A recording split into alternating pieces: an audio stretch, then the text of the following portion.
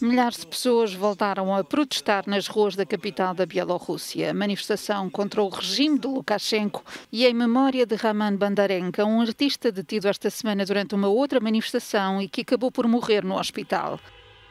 O bielorrusso tinha 31 anos e terá sido espancado pela polícia. Vamos fazer tudo para enfraquecer o regime, trazer justiça e aproximar-nos de eleições livres. Por Raman Bandarenka, pelos presos políticos, pela nossa família e por nós próprios. Por todos os que foram mortos em nome da vontade de viver na Bielorrússia.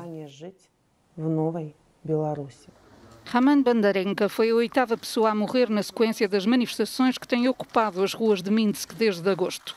Protestos pela reeleição de Alexander Lukashenko para a presidência, num resultado que a oposição contesta. A oposição, que conta com o apoio de Bruxelas, a Comissão Europeia recebeu um mandato dos Estados-membros para preparar um plano económico que viabiliza a passagem de poder na Bielorrússia. A União Europeia está preparada para mobilizar todos os meios económicos para apoiar a mudança democrática. Desde as eleições de agosto foram já detidas 17 mil pessoas na Bielorrússia. A líder da oposição teve de abandonar o país.